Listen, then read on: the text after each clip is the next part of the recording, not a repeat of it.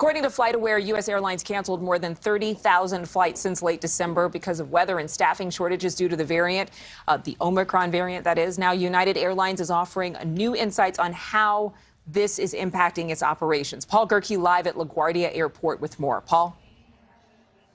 Good morning, Adrienne. CEO Scott Kirby was actually pretty transparent about the way the virus has impacted his operation. He mentioned one day in Newark, not too far from here at EWR, where one third of United's workforce called out sick on the same day. Right now, about 3,000 United employees are out with COVID, representing roughly 4% of the workforce, which means United is going to have to cancel more flights. But that CEO, Scott Kirby, has reasons to be optimistic.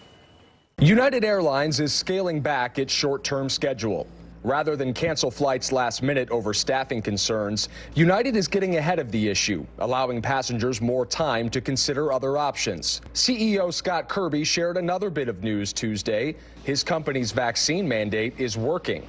United was the first major U.S. carrier to require its employees to be vaccinated, leading to a testy exchange on Capitol Hill when airline executives testified last month. The outlier here is, is United.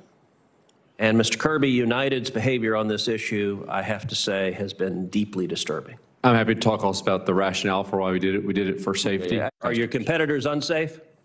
Uh, I think that the world is safer. Um, for us, I made the decision for United. I'll let the, my competitors speak for themselves. Kirby now has data to back up his assertions. Before the vaccine mandate, he claims COVID took the life of one staff member per week. But now, United has zero vaccinated employees in the hospital, and none have died from COVID in the past eight weeks. Zero is the number that matters, Kirby added. Zero hospitalizations, zero deaths among his vaccinated employees. That's the number he will continue to strive for.